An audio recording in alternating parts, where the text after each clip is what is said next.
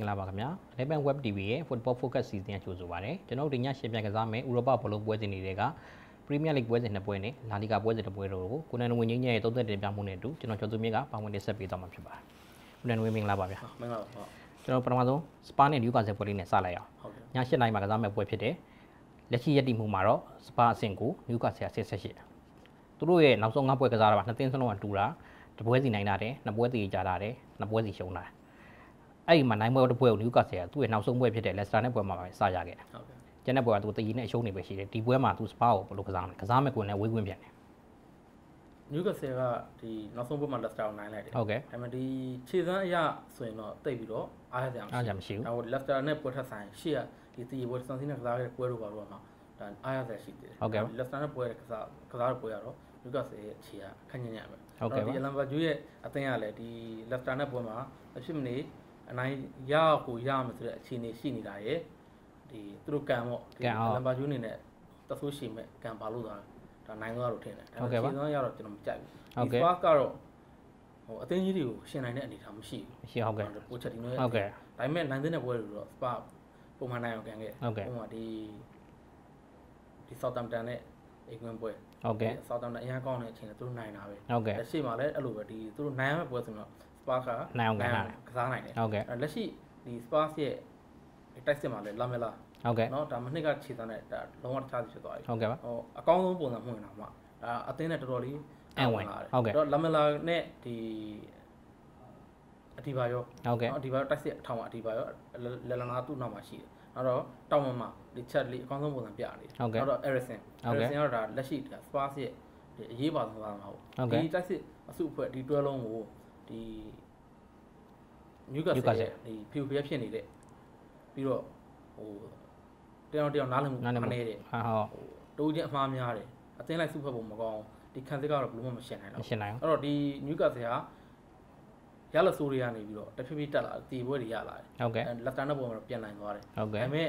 ဒီပွဲမှာတော့သူတို့ပြန်ကြလိမ့်မယ်ပြန်ကြမယ်စပါဟုတ်ကဲ့ကသူတို့နိုင်ကြမရှိဘူးမရှိဘူးနိုင်ကြမရှိသလိုတည်လည်းမရတော့ဘူးမရလောက်ဘူးအဲ့တော့စပါတရားကောင်းနိုင်လိမ့်မယ်ဟောဟုတ်ကဲ့ပါ အဲ့တော့ကျွန်တော်တို့နောက်တစ်ပွဲသွားရအောင်နော်နောက်တစ်ပွဲကတော့ Premier League ရဲ့ပွဲကောင်းပေါ့မန်ယူနဲ့ Chelsea ကစားမယ်10နိုင်ပွဲမှာကစားမဲ့ပွဲဖြစ်တယ်မန်ယူလက်ရှိရည်တည်မှုမှာအဆင့်6ဖြစ်တယ် Chelsea ကတော့အဆင့်1ထူးခြားချက်က Chelsea ကအခုချိန်ထိရှုံးပွဲမရှိသေးဘူးမန်ယူကတော့နောက်ဆုံး၅ပွဲမှာ3ပွဲနိုင်ထားတယ်တပွဲတည်ကြထားတယ်တပွဲရှုံးထားတယ် Chelsea ကတော့ Man City ကိုတည်ကြထားတယ်တပွဲကလွဲရင်ကျန်တဲ့ပွဲတွေနိုင်ထားတယ် Chelsea ရှုံးပွဲလည်းမရှိသေးဘူးဒါပေမဲ့သူဒီပွဲမှာသူတို့ Cos- ဟို Diego Costa Remy သူကဒဏ်ရာပြဿနာလေးရှိတယ်ပါချင်မှလည်းပါနိုင်မှာပေါ့နော်ပါချင်မှပါနိုင်ပါမယ်အဲ့လိုမသူမပါတဲ့အချိန်မှာ dropper လည်းကြက်ခံမှုအနေထားအသိပ်ပြီးတော့အကောင်းဆုံးအနေထားမှမရှိဘူးအဲ့တော့ဒီနှစ်ပွဲဒီပွဲလေးရဲ့ကိုယ်နဲ့အမြင်လေးပြောပါ Chelsea ကတော့ဒါလက်ရှိတိုက်စစ်ပြဿနာရှိတယ်ပေါ့ဟုတ်ကဲ့နော်ဒီ Chelsea ရဲ့အထောင်တိုက်စစ်မုံ3ယောက်ရှိတယ်၃ယောက်ရှိအောင်3ယောက်မှာဒီ Drogba တက်တက်ဦးစားပေးဟုတ်ကဲ့တက်ရလည်း36 36ခွန်ဟုတ်ကဲ့ကြာလဲကြာနေပြီကြာနေသူ့အောင်အနေနဲ့ဒီတပွဲအပြည့်ကစားပြီးသွားရင်နောက်ထပ်နှစ်ပွဲလောက်က ပြန်ခိုကစားမယ်ပြန်ကိုယ်ကဟုတ်တယ်အဲ့ကိုတော့ယ်အဲ့ဒီအနေထားမှာဒီ Morinho ကတော့ဒီအဓိကတိုက်စစ်မှုနှစ်ဦးဖြစ်တဲ့ Diego Costa ပြီးတော့ Remy ရမယ်ဟုတ်သူတို့မကစားနိုင်ဘူး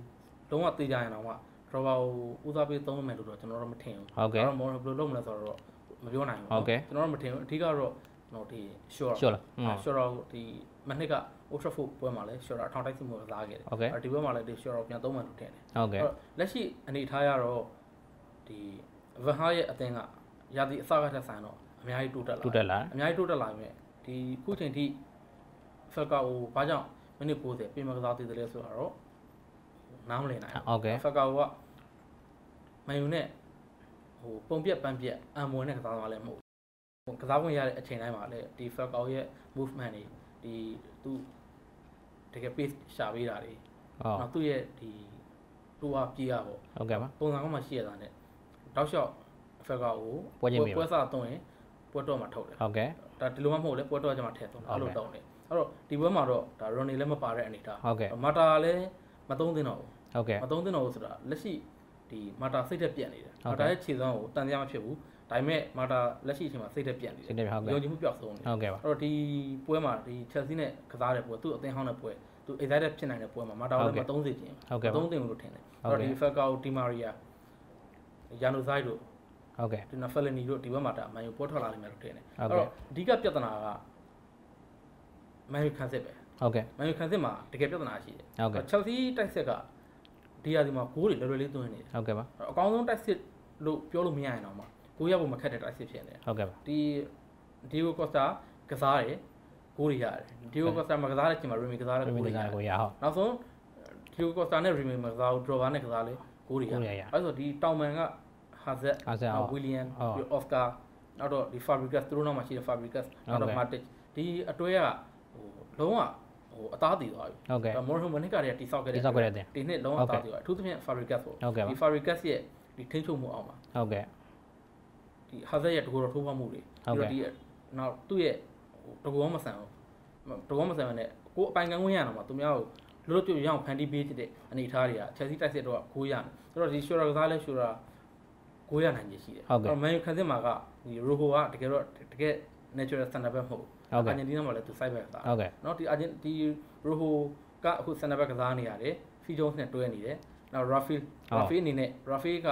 စူးစမ်းတယ်စူးစမ်းအထုံးမှုကောင်းတယ်တူးချင်းဆွမ်းဆောင်ကောင်းတယ်မှန်တယ် attacking လိုက်တာကောင်းတယ်ဆိုပေမဲ့ဒီခါဆက်ကိုထိန်းချုပ်ဖို့ကြတော့အခက်အခဲရှိနေမယ် Rafi အနေနဲ့အထူးသဖြင့်ဒီခါဆက်အသေးကစားတင်ကစားမဲ့